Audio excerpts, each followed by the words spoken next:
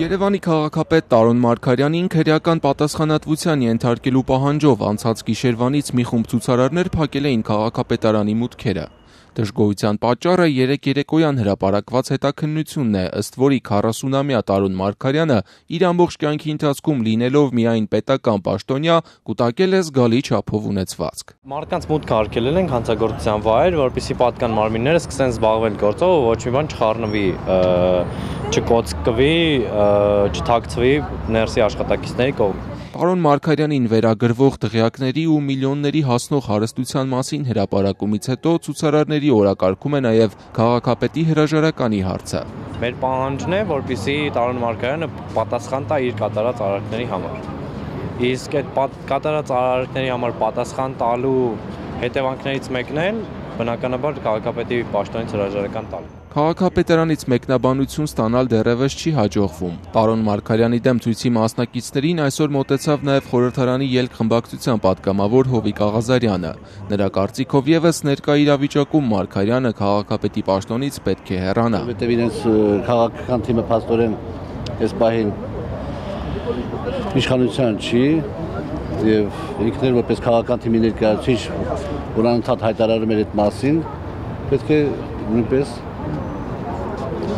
Niçin dirkeler? Երևանի ավականու ընդդիմադիր երկիր ծիրանի խմբակցության ղեկավար Զարուհի Փոստանջյանի պնդմամբ Տարոն Մարգարյանի հարստության մասին երեք հրապարակված տվյալները նորություն չեն եւ հիմա իրավապահները պետք է զբաղվեն դրանով։ Եվ գիտենք որտեղից են այդ աղբյուրները, աղբյուրները դրանք հանրային միջոցներն են, որոնք լվացկատանով անցել են, օրինակ Երևան հիմնադրամը կամ այլ լվացկատաներով անցել են եւ հանգրվալեր են Տարոն Մարգարյանի նման անձանց գրպաններում եւ դարձել են նման շինություններ։ Ցուցարարների մի մասը այսօր նաև փորձ կատարեց մուտք գործել քաղաքապետարանի շենքում գտնվող Երևանի պատմության թանգարան։ Թանգարանը մասնավոր է։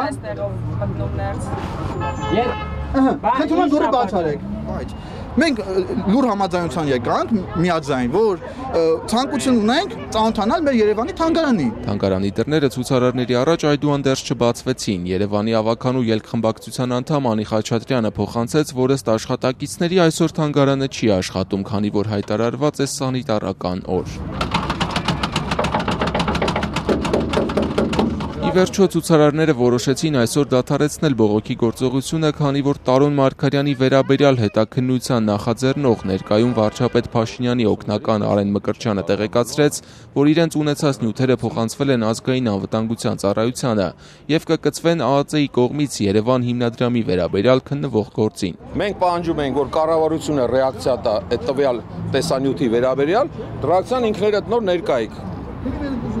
Արեն Մկրչյանը ինքը անձամբ ասեց, որ երեկվա տեսանյութը կծվում է 5 գործին եւ մենք անձամբ պատրաստ են գնանք որպես վկա։ Վարչապետ Փաշինյանի շարժման հաղթանակից հետո ի պատասխան մի խումբ քաղաքացիների կողմից ներկայացվող հրաժարականի պահանջի արդեն շուրջ 7 տարի Երևանի քաղաքապետարանը գլխավորող Մարգարյանը պնդում էր, որ ինքը քաղաքացիների կողմից է ընտրվել համայնքի ղեկավար, ուստի չի պատրաստվում հեռանալ։ Երևանի ավականում մի քանի աղմկահարույց բողոքի միջոցառումներ իրականացրած Երկիր Ծիրանի կուսակցության ղեկավար Զարուհի Փոստանջյանը վստահ է, Տարոն Մարգարյանը օրինական ճանապարհով չի ընտրվել քաղաքապետ։ Տարոն Մարգարյանը բռնության, սպառնալիքի եւ նաեւ կաշառքի միջոցով է դարձել այսպես զավթել քաղաքապետի պաշտոնը։ Շուրջ 10 օր առաջ ԱԱԾ-ն խուզարկություններ իրականացրեց Երևանի քաղաքապետարանում գտնվող Երևան հիմնադրամում, որի հոգաբարձուների խորհրդի կազմում են նաև քաղաքապետ Արոն Մարգարյանն ու նրա տեղակալները։ Ըստ իրավապահ մարմնի քաղաքապետարանի պաշտոնատար անձինք տարբեր թույլտվությունների դիմաց քաղաքացիներին պարտադրել են Երևան հիմնադրամին փոխանցել խոշոր գումարներ։